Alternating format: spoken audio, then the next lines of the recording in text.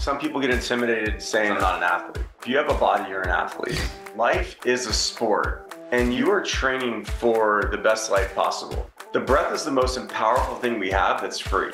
Major trauma response, right? I'm uniquely intrigued with rage. Give me free will to feel all of that rage that I feel that I could like and never vocalize from. All we are is energy, sound, vibration, and light. And there's the vibroacoustic effect that comes through your body. I thought EMF is bad.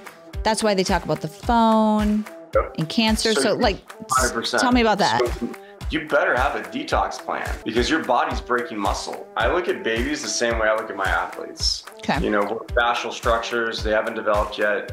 At the end of the day, you know who's around you when you turn your dimmer switch down. So why not include more things that raise your vibration?